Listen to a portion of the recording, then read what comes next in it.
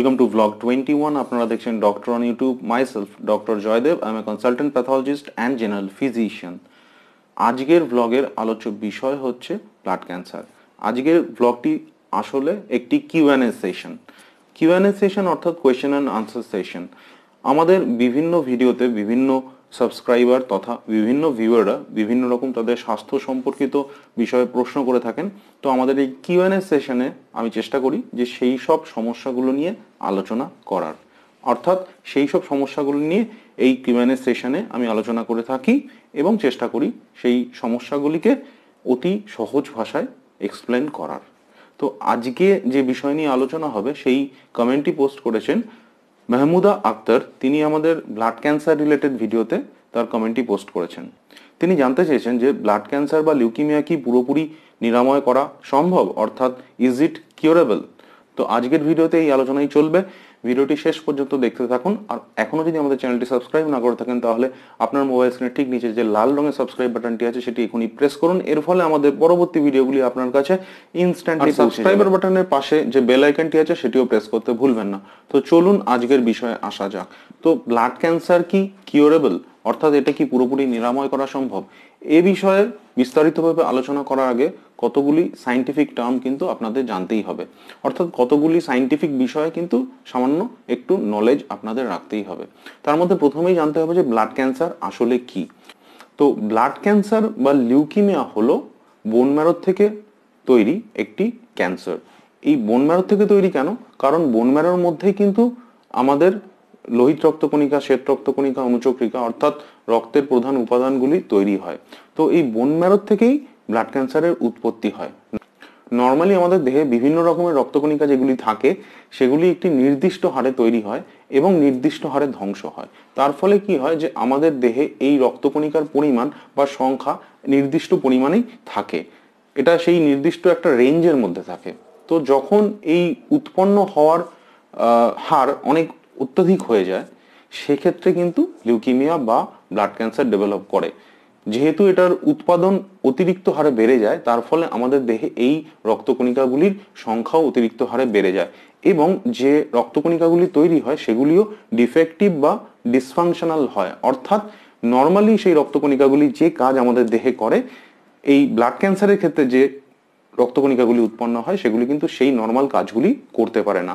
এবং তার ফলেই কিন্তু ব্লাড ক্যান্সারের বিভিন্ন রকম ম্যানিফেস্টেশন দেখা যায়। ম্যানিফেস্টেশন বিভিন্ন রকম হতে পারে, যেমন অ্যানিমিয়া বা রক্তাল্পতা হতে পারে। ডিফেক্টিভ ডাব্লিউবিসির জন্য ইনফেকশন হওয়ার চান্স কিন্তু বেড়ে যায়, সেক্ষেত্রে জ্বর আসতে পারে। ডিফেক্টিভ প্লেটলেট থাকার জন্য রক্তক্ষরণের সম্ভাবনা বাড়ে, অর্থাৎ মাড়ি থেকে, নাক থেকে ব্লিডিং হতে পারে বা শরীরে সামান্য আঘাতে কালো ছাপ বা কালো ছাপ দেখা দিতে পারে। তো এইরকম বিভিন্ন রকম কিন্তু ম্যানিফেস্টেশন হয়। এছাড়াও বিভিন্ন রকম লিম্ফ নোড ইনভলভ হওয়ার ফলে কিন্তু শরীরে বিভিন্ন জায়গায় কিন্তু বিভিন্ন রকম গ্ল্যান্ড ফুলে যেতে পারে। তো এই রকম বিভিন্ন রকম ম্যানিফেস্টেশন দেখা যায় লিউকিমিয়ার ক্ষেত্রে। তো এই লিউকিমিয়া ডায়াগনোসিস করার জন্য বিভিন্ন রকম টেস্ট কিন্তু করা যেতে পারে। কমপ্লিট ব্লাড কাউন্ট করা যেতে পারে বোনম্যারো এক্সামিনেশন করা যেতে পারে। তার সাথে কিছু অ্যাডভান্সড টেকনিক আছে, যেমন immunophenotyping cytogenetic study molecular study এগুলো কিন্তু করা হয়।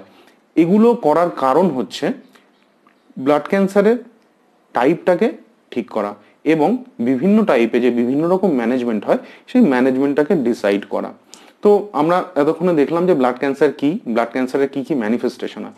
এবার আমরা দেখে নেব যে ব্লাড ক্যান্সারের কি কি ট্রিটমেন্ট আমাদের ব্লাড ক্যান্সারের বিভিন্ন রকম ট্রিটমেন্ট আছে আমাদের হাতে। তার মধ্যে কেমোথেরাপি আছে রেডিওথেরাপি আছে বোন ম্যারো ট্রান্সপ্লান্টেশনের ব্যবস্থা আছে এবং এর সাথেও আরও বিভিন্ন রকম অ্যাডভান্স টেকনিক্স কিন্তু এখন চলে এসছে। তার মধ্যে হচ্ছে আপনার ইমিউনোথেরাপি বা টার্গেটেড থেরাপি আছে। ইমিউনোথেরাপি বা টার্গেটেড থেরাপির ক্ষেত্রে কি করা হয়? যে সেই যে ব্যক্তির ব্লাড ক্যান্সার হয়েছে, তার শরীরে বিভিন্ন রকম পরীক্ষা নিরীক্ষা করে দেখা হয় যে তার শরীরে কোন কোন মলিকুলার লেভেলে অ্যাবনর্মালিটি আছে, অর্থাৎ কোন কোন মলিকুলার ফ্যাক্টরস আছে যেগুলো চেঞ্জড হয়েছে। এবং সেই সব মলিকুলার ফ্যাক্টরসকেই টার্গেট করে স্পেসিফিক থেরাপি ডেভেলপ করা হয় সেই স্পেসিফিক পেশেন্টের জন্য। সেক্ষেত্রে কিন্তু ভালো রেসপন্স দেখা যায়। তো আমরা এখন দেখলাম যে কি কি ম্যানেজমেন্ট অপশন আছে ব্লাড ক্যান্সারের রুগীর জন্য। তো এবার আমরা দেখব যে ব্লাড ক্যান্সারের প্রগনোসিস কীরকম হয়। অর্থাৎ ব্লাড ক্যান্সার কি আদেও কিওরেবল তো এবার সব থেকে গুরুত্বপূর্ণ প্রশ্নটা নিয়েই আলোচনা হবে। তো কিউরেবল কি কিউরেবল নয় সেই বিষয়ে কথা বলার আগে সব থেকে ইম্পর্টেন্ট যে টার্মটি এক্ষেত্রে আমরা ইউজ করে থাকি সেটাকে বলা হয় ফাইভ ইয়ার সার্ভাইভাল রেট অর্থাৎ ধরে নিন যে যদি একশো জন মানুষের ব্লাড ক্যান্সার হয়ে থাকে, তার মধ্যে তিরিশ জন মানুষ পাঁচ বছরের বেশি যদি বেঁচে থাকেন, তো সেক্ষেত্রে ধরে নিতে হবে যে সেই ক্যান্সারটির five year survival rate thirty percent তো যেক্ষেত্রে একশো জনের মধ্যে আশি জন পাঁচ বছরের বেশি বেঁচে থাকবেন রোগটি ধরার পরে, তো সেক্ষেত্রে কিন্তু ফাইভ ইয়ার সার্ভাইভাল রেট হবে এইটি পার্সেন্ট তো ব্লাড ক্যান্সারের প্রোগনোসিস কিন্তু অ্যাসেস করা হয় এই ফাইভ ইয়ার সার্ভাইভাল রেট দিয়েই। তো এরপরে আমরা চলে আসব যে কোন কোন ব্লাড ক্যান্সারের ক্ষেত্রে কি ধরনের রেসপন্স ট্রিটমেন্ট রেসপন্স পাওয়া যায়। তো ব্লাড ক্যান্সারের কিন্তু বিভিন্ন রকম টাইপ আছে। তার মধ্যে খুব কমন কয়েকটি টাইপ হলো acute lymphoblastic leukaemia chronic lymphocytic leukaemia chronic myelogenous leukaemia এবং অ্যাকিউট মায়োলোজেনাস লিউকিমিয়া এর মধ্যে কয়েকটি টাইপ খুব খারাপ এবং কয়েকটি টাইপ কিন্তু বেশ ভালো রেসপন্ড করে। তো আবার আমরা ফিরে আসি আগের প্রশ্নটাতেই যে whether blood cancer is curable অর্থাৎ কি ব্লাড ক্যান্সার কি নিরাময় সম্ভব? তো এই প্রশ্নটার উত্তর কিন্তু অত সহজ নয়। কোনো একটা পয়েন্টে কিন্তু এটা বলা যাবে না। এখানে একটা ব্লাড ক্যান্সারের কিউরেবিলিটি কিন্তু ডিপেন্ড করে অনেকগুলি ফ্যাক্টরের উপরে। ফার্স্ট এবং সব থেকে মোস্ট ইম্পর্ট্যান্ট ফ্যাক্টর হলো যে ডিজিজটা কোন স্টেজে ধরা পড়ছে। যদি ডিজিজটা খুব আর্লি স্টেজে ধরা পড়ে, সেক্ষেত্রে কিন্তু প্রপার ট্রিটমেন্ট পেলে রেসপন্স কিন্তু খুব ভালো হয়। তাছাড়াও আরও বিভিন্ন ফ্যাক্টর আছে, যেমন রুগীর এজের ক্ষেত্রে। রুগীর এজ বা বয়স বয়স কত তার উপরেও কিন্তু এর রেসপন্স বা ট্রিটমেন্ট রেসপন্স ডিপেন্ড করে। এছাড়াও আর কতগুলি ফ্যাক্টর আছে, যেমন কি কি মলিকুলার অ্যাবনর্মালিটি আছে, কি কি সাইটোজেনেটিক অ্যাবনর্মালিটি আছে, অর্থাৎ যার ব্লাড ক্যান্সার আছে, তার যে ব্লাড ক্যান্সারের সেল আছে, সেই সেলের মধ্যে কি কি ক্রোমোজোমাল অ্যাবনর্মালিটি বা কোন কোন মলিকুলার লেভেলের অ্যাবনর্মালিটি আছে, সেগুলো কিন্তু ডিসাইড করা দরকার। তার ফলে কিন্তু তার ট্রিটমেন্ট রেসপন্স অ্যাসেস করা যায়।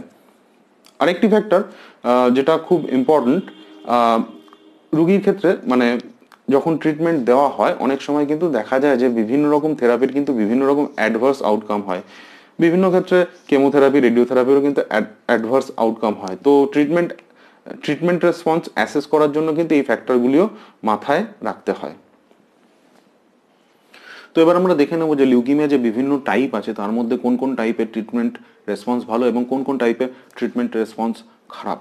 তো লিউকিমিয়ার বিভিন্ন টাইপের মধ্যে acute myelogenous leukaemia chronic myelogenous লিউকিমিয়ার blast crisis এই সব ক্ষেত্রে কিন্তু ট্রিটমেন্ট রেসপন্স খুব খারাপ। অর্থাৎ সেক্ষেত্রে কিন্তু রোগীর মৃত্যুর সম্ভাবনা বেশি থাকে। সেক্ষেত্রে ফাইভ ইয়ার সার্ভাইভাল রেটটা কিন্তু কম হয়। আবার উল্টো দিকে অ্যাকিউট লিম্ফোব্লাস্টিক লিউকিমিয়া যেটা সাধারণত ছোট বাচ্চাদের হয়, সেটার কিন্তু রেসপন্স রেট অনেক ভালো। সেক্ষেত্রে five year survival rate almost eighty percent তো এক্ষেত্রে একশো জন শিশুর যদি ধরে নেওয়া হয় যে এএলএল বা অ্যাকিউট লিম্ফোব্লাস্টিক লিউকিমিয়া হয়েছে সেক্ষেত্রে যদি আর্লি স্টেজে ডিটেকশন হয় এবং তার বিভিন্ন ফ্যাক্টর যদি ফেভারেবল হয় তো সেক্ষেত্রে প্রপার ট্রিটমেন্ট পেলে কিন্তু একশো জনের মধ্যে আশি জন বাচ্চার কিন্তু ফাইভ ইয়ার সার্ভাইভাল খুবই ভালো। অর্থাৎ এই এল হচ্ছে একটি এমন একটি টাইপের লিউকিমিয়া যে আর্লি ডায়াগনোসিস এবং প্রপার ট্রিটমেন্ট হলে সেক্ষেত্রে কিন্তু রেসপন্স রেট অন্যান্য ক্যান্সারের তুলনায় অনেকটাই ভালো। তো আশা করি যে এই ভিডিওতে আমি বোঝাতে পারলাম যে ব্লাড ক্যান্সারের বিভিন্ন টাইপ নিয়ে ব্লাড ক্যান্সারের ডায়াগনোসিস তার ট্রিটমেন্ট এবং এর কি কি রেসপন্স হয়। অর্থাৎ আপনার আপনি জানতে চেয়েছিলেন আমাদের ভিউয়ার জানতে চেয়েছিলেন যে কিউরেবিলিটি নিয়ে। তো এটাকে কিন্তু কিউরেবল ওইভাবে বলা যায় না, কারণ ব্লাড ক্যান্সারের বিভিন্ন ধরনের টাইপ আছে এবং ব্লাড ক্যান্সারের ট্রিটমেন্ট রেসপন্স যেহেতু ডিপেন্ড করে বিভিন্ন রকম ফ্যাক্টরের উপরে, তো ওইভাবে একটি একটি মাত্র ওয়ার্ড দিয়ে কিন্তু সেইভাবে এক্সপ্রেস করা যায় না ব্লাড ক্যান্সারের কিউরেবিলিটি তো আজকের ভিডিওতে এটুকুই থাক। আমাদের পরবর্তী ব্লগগুলিতে আমরা বিভিন্ন স্বাস্থ্য বিষয়ক টপিক নিয়ে আলোচনা করব। আপনাদের যদি কোনো স্বাস্থ্য বিষয়ক প্রশ্ন থাকে, তো সেই প্রশ্নগুলি আপনারা নিচের কমেন্ট সেকশনে অবশ্যই পোস্ট করবেন। আমি চেষ্টা করব আমাদের পরবর্তী ব্লগগুলিতে আপনার বিষয় নিয়ে আলোচনা করা। Till then take care and stay fit be healthy thank you